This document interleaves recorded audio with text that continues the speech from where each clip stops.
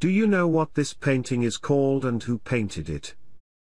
The painting is called The Ghost of a Flea, and is a miniature painting by the English poet, painter and printmaker William Blake, held in the Tate Gallery, London.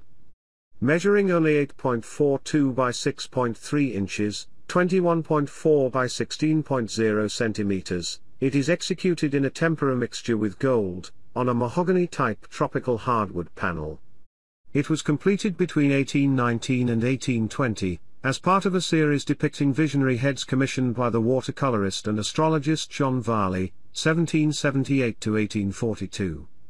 Fantastic, spiritual art was popular in Britain from around 1770 to 1830, and during this time Blake often worked on unearthly, supernatural panels to amuse and amaze his friends. At 21.4 cm times 16.2 cm the work is a greatly reduced miniature portrait. Blake generally worked on a small scale, most of his illuminated pages, engravings and many of his paintings are only inches high. Although Ghost of a Flea is one of Blake's smallest works, it is monumental in its imagination. Its tiny scale achieves drama in contrasting the muscular bulk and apparent power of the creature against its incarnation in the panel, as an insect. Background Blake first met John Varley in the autumn of 1818. Varley was 21 years younger than the artist, and has been described as a genial 17-stone bear of a man. A student of astrology and zodiacal physiognomy, Varley held a strong belief in the existence of spirits, but was frustrated by his inability to see them.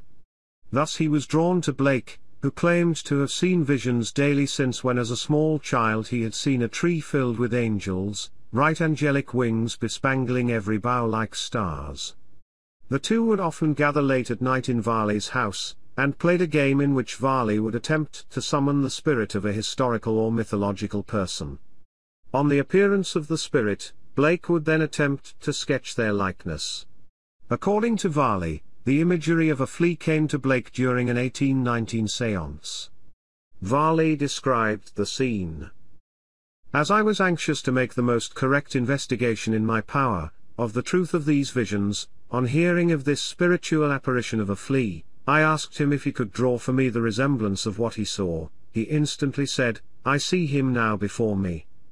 I therefore gave him paper and a pencil with which he drew the portrait. I felt convinced by his mode of proceeding, that he had a real image before him, for he left off, and began on another part of the paper, to make a separate drawing of the mouth of the flea, which the spirit having opened, he was prevented from proceeding with the first sketch, till he had closed it. Blake's Victorian biographer Alexander Gilchrist, 1828-1861, wrote that, three decades earlier in 1790, Blake, for the only time in his life, saw a ghost. Standing one evening at his garden door in Lambeth, and chancing to look up, he saw a horrible grim figure, scaly, speckled, very awful, stalking downstairs towards him. More frightened than ever before or after, he took to his heels, and ran out of the house. Although not directly stated by Gilchrist, there is a close connection between the ghost and the later the head of the ghost of a flea. Blake often said that he was joined by invisible sitters as he drew them, including, he claimed, a number of angels, Voltaire, Moses and the flea, who told him that fleas were inhabited by the souls of such men as were by nature bloodthirsty to excess. In his obituary, it was stated that, the flea communicated to Mr. Blake what passed, as related to himself, at the creation.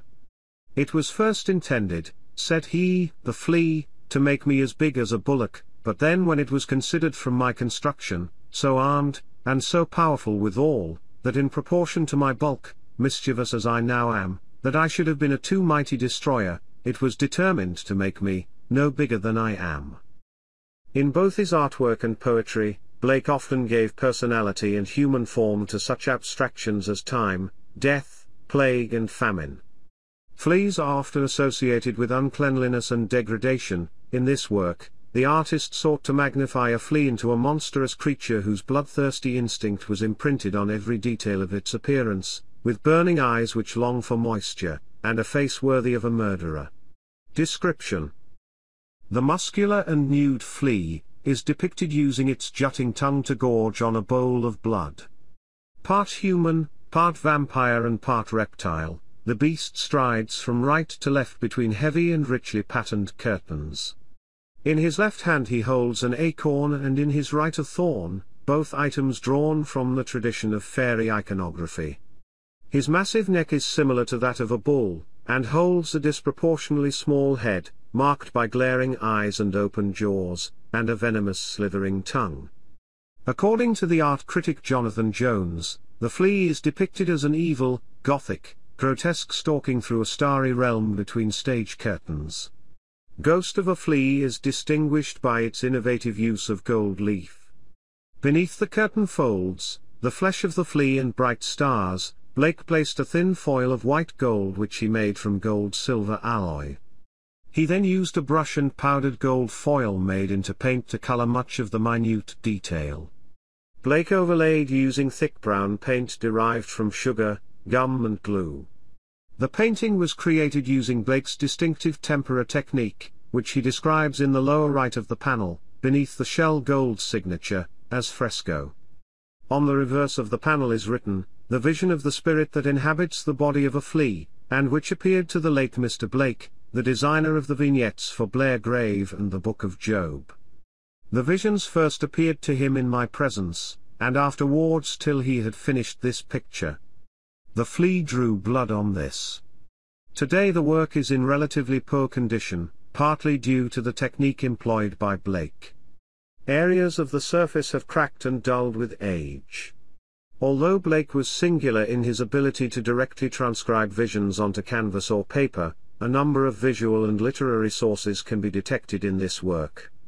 The art historian Hope Werness suggested that the flea may be inspired by a 1665 work by early microscopist Robert Hooke, 1635-1703, whose micrographia includes a drawing of a flea microscopically observed. Comparisons have been made to Henry Fuseli's monstrous imps, while the image of the flea echoes figures in Blake's earlier work, and his scaly body is similar to the monster in his 1805 pen and ink drawing Pestilence, Death of the Firstborn. In 2006, the Tate hung the ghost of a flea and William Radin's 1827 engraving after Fuseli's The Nightmare side by side in the Nightmare in Modern Culture room of their Fuseli, Blake and the Romantic Imagination exhibition. Reception During his lifetime, Blake's prints were described as the work of a madman. This view was reinforced when word spread that Blake was inspired through visions, and, according to G. Bentley, so plain was Blake's madness to some that they assumed he must have been confined in a madhouse and few were willing to believe that the artist actually saw anything. In 2006, the painting was described by the New York Times as Blake's quite strangest and certainly most gothic work. Provenance The Ghost of a Flea was purchased by Varley around 1820, and later passed to his son Albert Varley. A label on the reverse of the canvas states that the panel was sold by Albert in February 1878, a fact confirmed by an inscription written by the poet and artist William Bell Scott, 1811 to 1890, on the inside back cover of the Blake Varley sketchbook which reads, I have since getting this book, in 1870, bought the painting of the Ghost of the Flea, from Mr. Varley of Oakley Street Chelsea, son of John Varley. On the 14th of July 1892 it was sold at Sotheby's to W. Graham Robertson for £10 and 50 pence. It was first exhibited at Carfax, Oxford, in 1906. In preparation for this showing, the panel was partially cleaned of dust. It was further treated when the exhibition ended by Stanley Littlejohn, 1877 to 1917, who, in the words of the Blake collector W. Graham Robertson, lifted the veil of darkness from it without any impairing of the surface, and the picture now appears exactly as described by Allan Cunningham. The colors, though deep, are clear and brilliant, the gold, used to heighten the lights, shines with its old power, and on the floor, between the feet of the striding. It was first displayed at the Tate on loan in 1913, and donated to the gallery by Robertson in 1948. The sketch on paper, along with several other of Blake's drawings and watercolors, had been donated to the gallery in 1940 by Miss Alice G. Carthew. Artwork Details Artist William Blake, 1757 to 1827. Title The Ghost of a Flea. Object Type Painting. Date 1819 to 1820. Medium Tempera on panel.